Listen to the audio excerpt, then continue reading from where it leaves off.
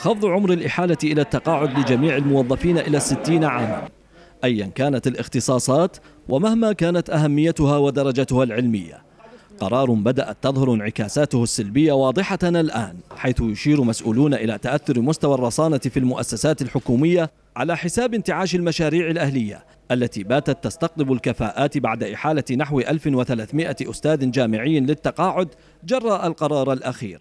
وبمعدل سنوي مستمر يبلغ نحو 100 أستاذ في كل عام بالبصرة. وسنويا جاي نخسر من كوادرنا بما يقارب من 80 إلى 90 أستاذ في كل الاختصاصات ومنتهى الخبرة اللي ما نقدر نعوضها. بالضبط. أعطاهم مستمر والدليل أنه اللي طلعوا كلهم أخذوهم الجامعات الأهلية سواء داخل العراق أو خارجه وفتحوا فيهم جامعات جديدة. إحنا جاي نلاحظ الآن بصراحة من خلال عملنا أنه 30% من كوادرنا العاملة بدأنا أنه نفقدهم بصراحة من الأطباء من الكوادر الطبية وهذا أثر سلبا على عمل المؤسسات الصحية. القرار لم ينعكس على مستوى الخدمات الجامعية فقط.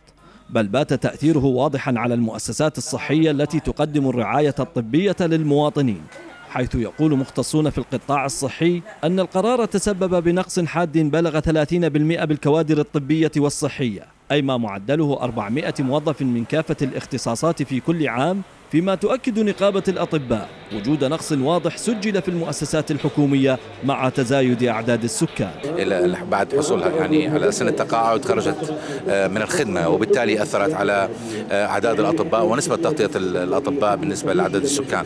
لدينا منشآت صحية متطورة على مستوى العراق والبعض منها على مستوى المنطقة. لذلك حققنا إلى الآن أكثر من 200 مليون دولار. خطتنا إن شاء الله أن نتوسع بهذا القطاع إلى مبالغ أكثر. وفي الوقت الذي تنتعش فيه المشاريع الاستثمارية الأهلية بعد انتقال الكفاءات المتقاعدة من الدوائر الحكومية إليها نجد أن الحكومة المحلية تتجه إلى التعاقد مع الملاكات من الخارج. وفي المقابل نجد أن المشاريع الاستثمارية الخاصة بالمستشفيات والجامعات الأهلية في انتعاش مستمر لتصل الاستثمارات فيها إلى مبالغ وصلت إلى 200 مليون دولار بالبصرة في وقت أشارت فيه الحكومة المحلية إلى التوجه للدول الأخرى لجلب الكوادر الوسطية في المجال الصحي لتعويض النقص الحاصل بعد إحالة العديد من الموظفين إلى التقاعد. لكنه ينقصنا نقاط مهمة بالمستشفيات.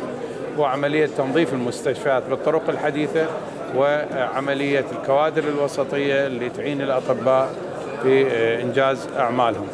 هذه هذا الموضوع جادين بأنه نذهب الآن عندنا مفاوضات. خلينا نكون واضح وياكم مع شركة إيطالية ممكن أن تدير المستشفيات الجديدة. خالد السلامة لقناة الفلوجة البصرة.